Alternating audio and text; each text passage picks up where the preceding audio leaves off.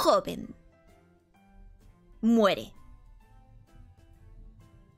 Tras sellarse, comillas, comillas, el pene con pegamento para no dejar embarazada a su novia.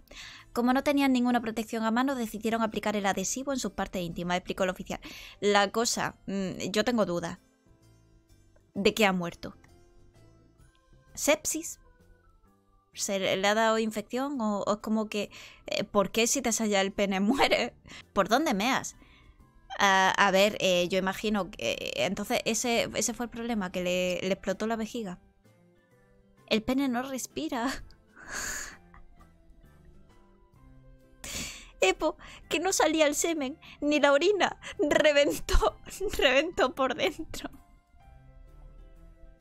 A ver, digo yo, después de mantener las relaciones sexuales, claro, hombre, es que a lo mejor el semen se le fue para adentro y le irrigó todo por, por dentro y se murió inundado en su propio esperma internamente.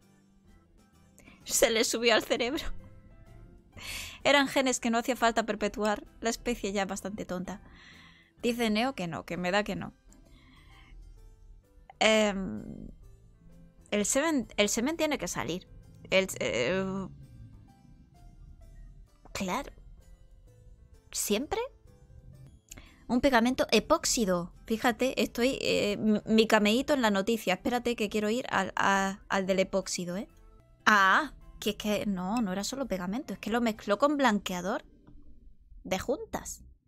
Epo explota pingas. Epo mata a un hombre sellando su nepe.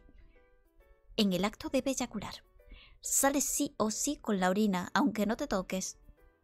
¿Eres semen? ¡Ah! Tío, chino, lo acabo de descubrir hoy, ¿en serio? Ah, ¿sabéis que las palomas producen leche? Bueno, eso diréis, ¿por qué tiene que ver? Porque es que generalmente son las palomas machos. Y con esa leche que producen las palomas, las palomas machos alimentan a los pichones. Bueno, da igual, otro día os cuento cómo producen leche las palomas. Pues ha sido en la India, Salma Mirza. Se puso epóxido en su pene antes de mantener relaciones con su pareja. Entre las teorías de su fallecimiento se baraja la posibilidad de que el detonante, claro, claro, fue el detonante, pero es como que pasaron muchas cosas ahí dentro. Ah, amigo, es que claro, estaba ya hecho mierda por dentro. Eh, solía consumir todo tipo de sustancias ilegales, todo, todo, todo. Y como colofón, pues ya selló su pene durante el coito. Eh, pero es que también, a la vez, llevaban eh, el pegamento este, el epóxido, mi cameo, eh, porque lo usaban para colocarse, lo inhalaban. Generación Actimel. Generación Actimel, todo se resume en eso, ¿eh?